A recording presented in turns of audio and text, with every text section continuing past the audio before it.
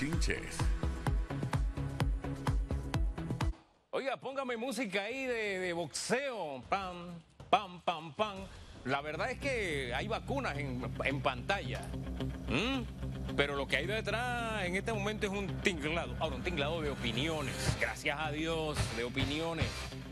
Porque la vacuna rusa está dividiendo a los especialistas, los que aconsejan, a los que toman decisiones. Hay quienes están diciendo, ¿sabe qué?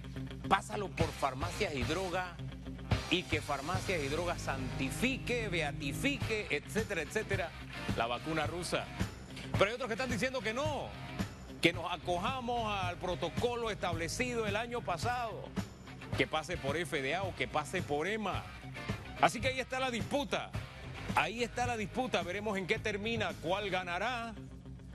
¿Cuál ganará? Mire, yo, este es un tema tan especializado que yo prefiero esperar a ver qué dicen los especialistas, dónde se inclina la mayoría de los especialistas.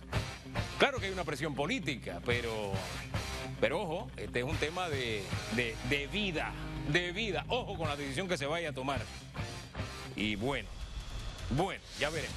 Vamos con la siguiente. Este también, este también, aquí hay un, un pugilato. Vuelvo a ponerme música de boxeo. Este es por Panama Ports. Ayer debía haber salido un reportaje que les preparé sobre si se renueva automáticamente o se renegocia el contrato con PPC. Ahí están las dos esquinas. Hay quienes dicen, no, esto es renegociación automática. Es más que ya contó con la bendición de Contraloría, aunque dice Pedro Mailán que Contraloría lo que hizo fue tirarle la toalla a PPC, no sé. Lo que, ¿Por qué le tira la bomba? ¿A quién se la tiró? ¿A Contraloría o a PPC? ¿O al contrato? ¿O a la discusión? Dígamelo, productora. Bueno, ella soltó una... Ah, cero pelea, dice. No, es que aquí hay que discutirlo. Este es un tema importante. Porque el contrato habla de renovación automática si la empresa ha cumplido con lo establecido en el contrato. Pero, bueno, como ayer no salió el reportaje, tal vez salga hoy. Mañana le voy a hacer otro donde le voy a hablar de los remiendos del contrato, porque este contrato no es el que se firmó en el 97, ¿no? Pero en fin, el tema da para mucho, hay un debate, ¿usted qué piensa? Pues mire que ahorita en el tema de la, de reforma fiscal le dijeron, ve, ahí está PPC, saquémosle plata a los puertos, más plata a los puertos. Ahí está parte del, del tema, ¿no? Renovación automática o renegociación con PPC. Le doy algo aquí de información y ahí está el bochinche. Se inclina se inclina la balanza en el gobierno a la renovación automática con algunos ajustes. Se inclina la balanza en el gobierno a la renovación automática con algunos ajustes, que incluye que la empresa pague algunas cosas que no ha pagado y ajustes hacia el futuro.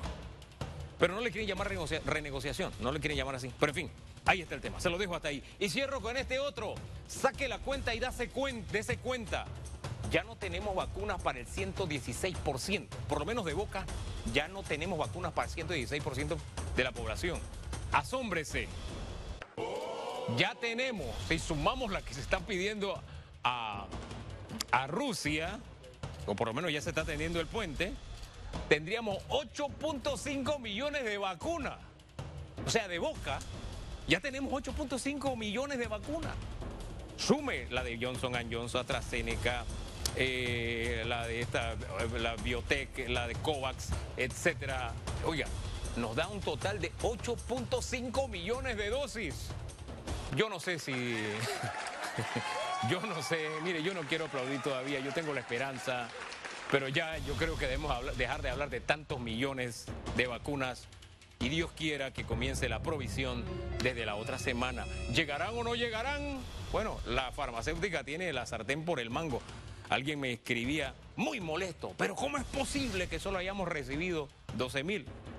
Bueno, la farmacéutica tiene la sartén por el mango, como si yo fuera a comprar mangotín. Y me dicen, bueno, te voy a vender 10, pero me dan uno nada más. Él es el que tiene los mangotines allá, pues, y tiene el monopolio de los mangotines. ¿Cómo lo puedo obligar a que me den mangotines? Ahora, si llegamos a un acuerdo de que es en el primer trimestre, en el primer trimestre o entran en violación y ahí sí hay que ponerle mano dura. Pero en fin, me quedo pensando, 8.5 millones, pero de boca todavía. Que se convierten en realidad, ya viene la próxima semana, esperemos que así sea, no perdamos la esperanza.